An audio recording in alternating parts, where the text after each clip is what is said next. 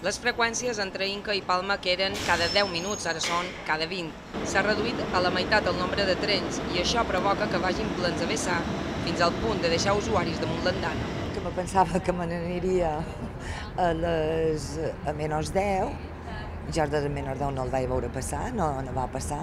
Serveis Ferroviaris de Mallorca redueix les freqüències de trens cada estiu perquè se'n redueix el número d'usuaris. Però enguany, amb la gratuïtat del servei, no ha estat així.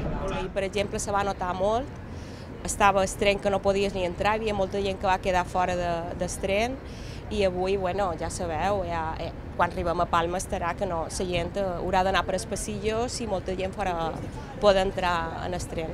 Que jo és el primer dia que agafo el tren, sí que és vera que he notat que s'acumula molta de gent eh, perquè, per aquesta manca de trens i, i sí que és vera que la gent que viu entre Marratxí i Palma no pot agafar el tren en el seu horari habitual i això dificulta potser arribar de la feina i, bueno, i altres llocs. Els trens que circulen entre les 6 i les 10 del matí són els que van més plens. Els usuaris han de viatjar drets i es complica la feina dels revisors i personal de seguretat perquè no es poden moure dins els convois. Usuaris i treballadors reclamen que es mantenguin les freqüències durant tot l'any. És insuficient perquè la gent ara cui molt el transport públic, és el que volen fomentar i no és, no és el seu. L'horari d'estiu es mantindrà fins dia 31 d'agost.